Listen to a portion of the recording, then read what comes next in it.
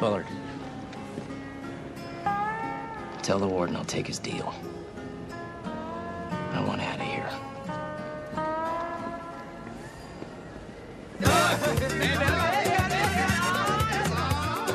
Stan, them Nazis were saying the Virgin Mary tortillas is a fake. That's not cool, Holmes. Hey, the Nazis were saying the Virgin Mary has no power. That Constantine was only pacifying the Byzantine priests by giving them a goddess to pray to. I think they've been watching the History Channel or something. What? What are you gonna do about it, Big Stan?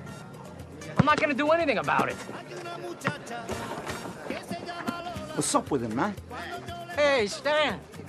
Stan! The Brazilians, they, they won't stop calling Farib an Arab. I'm not an Arab. I'm Persian. What do I care? You look like an Arab.